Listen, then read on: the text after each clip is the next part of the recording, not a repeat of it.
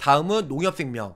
자, 농협생명 우리가 8월달, 9월달 암주요 치료비 비례형으로 정말 불티나게 판매가 되었죠. 10월달 어떻게 바뀌었는지 저 보험왕과 자세히 설명을 드리도록 하겠습니다.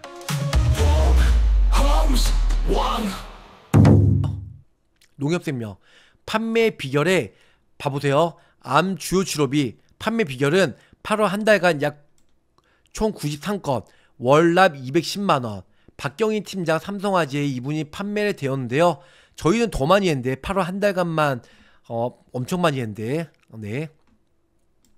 자 신상품 암플러스 갱신 비갱신 어, 출시 12일 만에 계약 건수 만 건을 돌파하며 영업 현장에서 폭발적인 관심을 끌었습니다. 그중 유독 어, 지금 괄목할 만한 성과를 이유는 삼성화재 안산 총괄 보험 대리점 비결을 알고자 했다. 이건 뭐 나머지 다 똑같죠. 네. 삼성화재 뭐 대리 삼성화재보다 더 좋았는데요. 그렇게 크게 문제될 것 같진 않아요. 네. 넘어가도록 할게요. 자, 암플러스 농협생명이 암 치료비 걱정 한 번에 잡았습니다.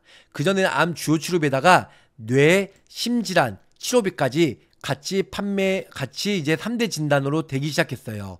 암 주요 치료비는 최대 1억까지 10년간 10억까지 되고요. 그 다음에 뇌심은 급여. 근데 솔직히 암은 아직까지는 이제 농협 생명이나 어, 농축협, 그더 단위농협 이런 시골의 은행 계열의 창구에도 많이 가입을 했는데요. 뇌심 는 솔직히 가입을 안 해요. 왜냐면 초반에는 멜치와 농협생명이 급여 부분이 나왔는데 지금 이제 비급여까지 삼성화재나 아니면 DB손해보험이 나왔기 때문에 솔직히 뇌심 급여 의료비는 큰 메리트가 없다. 그러면 암 주요 치료비만 가져가시는 게 좋으실 것 같아요. 그래서 급여, 암 치료비, 본인 부담금과 비급여, 암 치료비는 급여는 모든 암에 대해서 치료비가 나와요. 하지만 타사 같은 경우는 약방수만 돼요. 암수술, 항암 방사선, 항암 약물 치료비가 줄임말로 뭐라고 하죠? 약방수.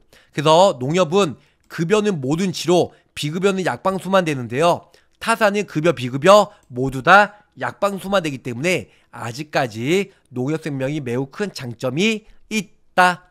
그래서 최소 300만부터 1억까지 10년간 보장이 되고요. 뇌혈관 허혈성은 급여만 되기 때문에 솔직히 농협 생명 2대 질병은 별로 좋지가 않아요. 저는 대놓고 좋으면 좋다, 안 좋으면 안 좋다고 얘기하는데요. 특히 뇌혈관 허혈성 좋지 않습니다. 농협은. 왜냐? 급여만 되니까. 하지만 10월달 출시됐던 삼성화재와 DB손해보험은 급여, 비급여 다 되고 특히 하나 손해보험에 상해 질병 치료 지원금 50만 원부터 급여가 모든 질병이 되기 때문에 오히려 뇌 허혈성만 되는 급여만 되는 건 큰 메리트가 없다. 그래서 암 주요 치료비만 농협으로 준비하시면 좋으실 것 같아요.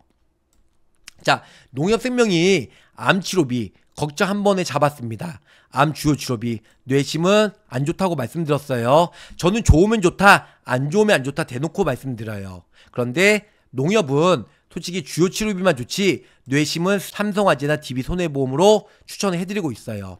특약을 통해서 소득 보장도 나쁘지 않아요. 하지만 어, 생활비처럼 1년 동안 하지만 소득 보상도 솔직히 큰 메리트가 없고요. 이거 가입할 바에는 KB 손해보험의 항암 호르몬이 보장을 받을 수 있는 어, 그런 정액형 암 주요 치료비 그 유방암 걸리면 타모시펜 여성분들 5년에서 10년 정도 복용하거든요. 이럴 때 매년 복용할 때마다 병원비는 5만 원 밖에 안 나와요. 약값이 5, 6만 원. 근데 이거 복용할 때마다 2천만 원씩 10년간 최대 2억까지 나오다 보니까 KB 손해보험으로 정액형 추천해드리고 그 다음에 비례형은 암 주요 치료비 농협이 좋다는 거. 그 주계약 보험료의 2%가 할인을 받을 수가 있다. 네. 그리고 나머지는 암 플러스 농협. 그래서 1종은 기본형이고 2종은 암 기가입자용. 암 기가입자용은 유병자 요런 거고요. 3형 종합형은 이제 플러스 2대 주요 치료비 이게 3형으로 알고 계시면 좋으실 것 같아요. 뭐 소득 보상도 있는데요. 넘어가도록 할게요. 다음은 마이초이스 농협 종신보험. 자, 농협생명도 1월 달에 24년 1월 달에 133%로 엄청 많이 팔렸죠. 신한이 135%좀 밀렸는데 133%의 농협생명도 많이 가입을 시켜드렸어요. 기간별 이원화가 돼서 10년 이내 3.25%, 10년 초간에 2.25%, 그리고 카드 납입도 가능해요.